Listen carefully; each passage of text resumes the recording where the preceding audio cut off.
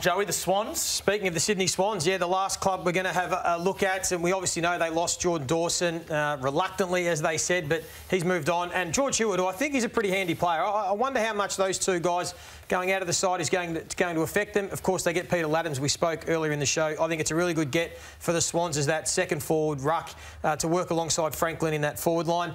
You take a look at their trajectory. It was a real spike, wasn't it, this season? We probably didn't see it coming, how well they would go the question is, with this core group, does the trajectory continue? Do they continue to spike in that, you know, in that trajectory and contend for a flag next year? I'm just wondering, while they've still got their ageing veterans in Franklin and Kennedy and Rampy and Hickey who had his best year and Parker still in his prime, can they potentially jag a premiership in the next two seasons with those veterans? Oh, what have we got here? I think it's possible. So it's, there's two windows. There's a small window, as I just said, while they've, got, while they've got their house. How many windows are there? While they've got their veterans, they're a chance to jag one. Yeah. If they can't, I think they've got to be patient and they've Jeez. got to build their next flag okay. around Logan McDonald wow. and Blakey and Campbell and Errol Gulden and McCartin and Rowbottom, etc. So there's a small little window now.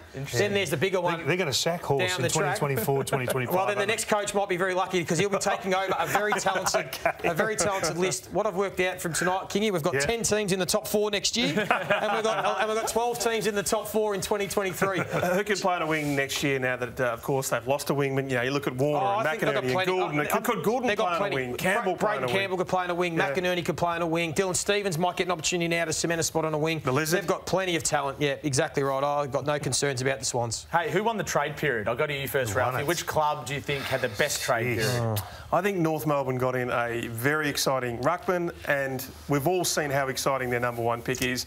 I'm really bullish on North. Uh, I think Fremantle have ended up doing really well considering losing Cerra. Pick 6, yeah. 8 and 19. Kingy? He works for him.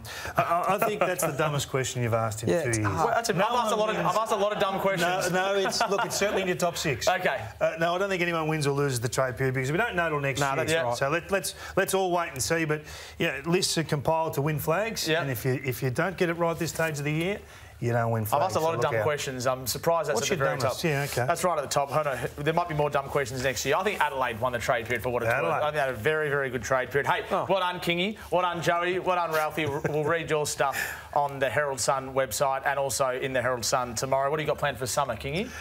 nothing, Tommy. I'm looking forward to getting away from you, and you're looking, you're looking forward to getting away from me. All right, we'll see, we'll see you for the uh, AFL National Draft on November 24 and 25. And after that, it's AFLW. And uh, have a great night. Thanks for joining us on Trading Day for the last two weeks. And for the finale this evening, have a great night.